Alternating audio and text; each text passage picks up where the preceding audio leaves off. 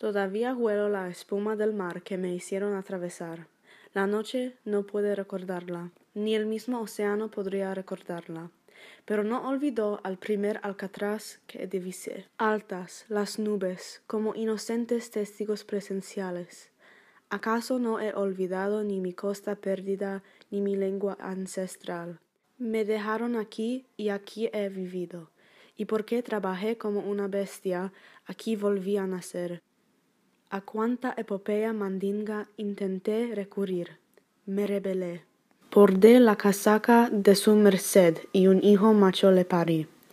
Mi hijo no tuvo nombre y su merced murió a manos de un impecable lord inglés. Anduve.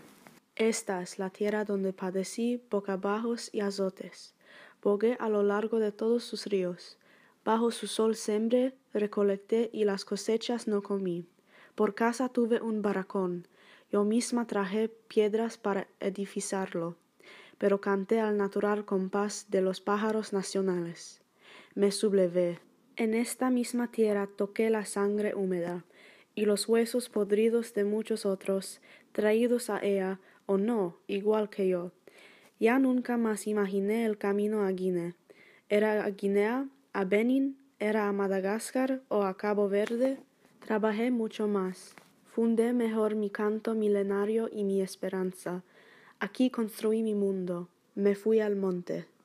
Mi real independencia fue el palenque y cabalgué entre las tropas de Maceo.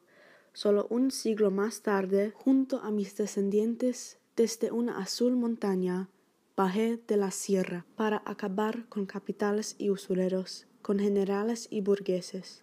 Ahora soy, solo hoy tenemos y creamos, nada nos es ajeno. Nuestra la tierra, nuestros el mar y el cielo, nuestras la magia y la quimera, iguales míos, aquí los veo bailar alrededor del árbol que plantamos para el comunismo. Su pródiga madera ya resuena.